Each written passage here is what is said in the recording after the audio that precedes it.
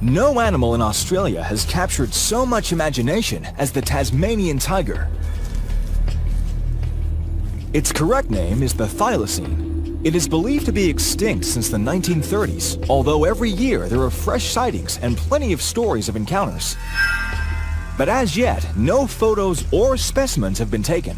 So for our 72 list, we cannot ignore the possibility that some may still survive. It's unlikely they would attack, and even with what we do know about them, most of the anecdotal evidence seems to suggest that like a large dog, they could bite or attack, but such incidents were rare.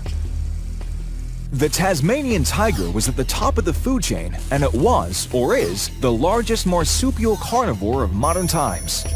Both the female and the male have pouches. The female pouch was back-facing and used for rearing of the young. The male pouch was for the protection of the testicles.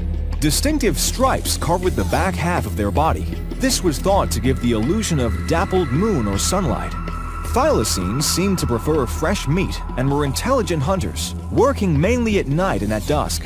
Most of their prey were small rodents and marsupials, as well as introduced rabbits. Their jaw is long and the teeth sharp, not at all a place to put a human hand. The last thylacine, which is the species' correct name, died in captivity in July 1936. Sadly, protection of the species came two months later in September. By then it was too late. This rare black and white vision shows the last tiger as it paces around its cage at the Beaumaris Zoo in Hobart. Today, that same cage sits empty, almost as a last testament to this unique and rare animal. Tasmania is heavily forested, with some areas so dense and harsh that to this day, there are still areas that the locals have not been able to access. Just outside of Hobart, in the Derwent Valley, the town of New Norfolk is home to the last great Tasmanian tiger searcher, Cole Bailey, author of Shadow of the Thylacine, is convinced beyond doubt that the tigers are still out there. Definitely, most definitely, 100% sure.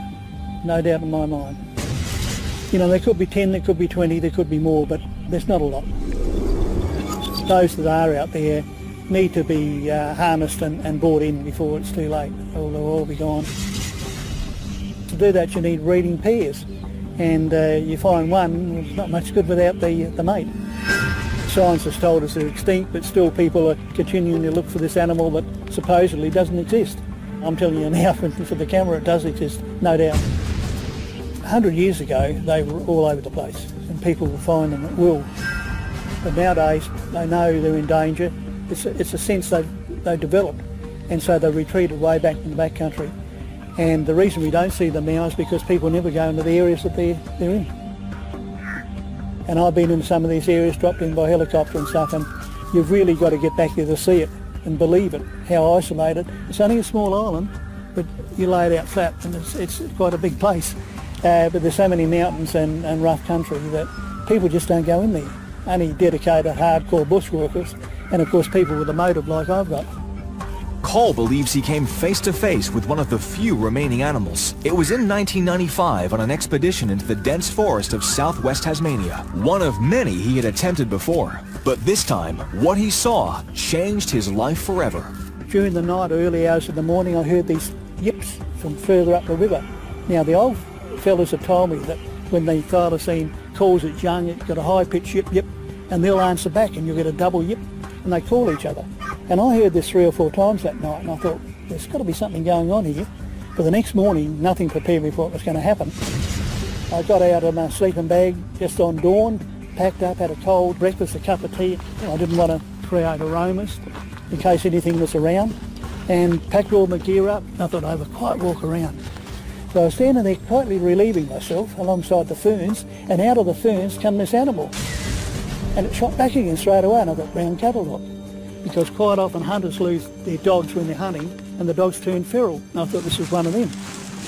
Now I whistled this animal up and got no response and I moved onto a, a semi-cleared wombat trail and then I could see it more clearly. I could see the head, ran down the body, and the long stiff tail. Then my eyes went back to the, the body and I seen these stripes and it turned and exactly as I've got on the book and that's why I've chosen this terrific drawing for the book and that's the way it's stood and glared back at me.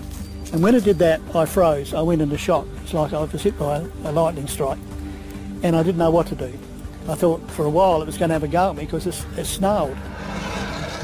Then it did something strange. It looked at me for some seconds and then it turned around and went to walk away and then turned all around in one piece and stood standing square on at me. And I thought, hello, it's going to have a go at me now. And I thought, oh, I'd, I've had it if it goes. I didn't know what to do. And I was, I was rock solid. I couldn't move. It stood there for another 20 or 30 seconds and then it started to back back in a crazy side-to-side motion. And it reversed back until it got further back into the ferns and I could see it no longer. And then it disappeared and I could see the ferns moving where it was going away. And I was in shock. I knew what I'd seen. I was had no doubt about that. And what was I going to do about it? And then I thought, well, I'll better get my pack and go after it. So when I got back to my pack, I thought, ah, what's the use? I sat down, had a real strong cup of coffee and got my thoughts together and my nerves settled down a bit and then I thought, now I'll go and have a look for it. But there's so much forest litter, I couldn't see where it had gone and it just disappeared.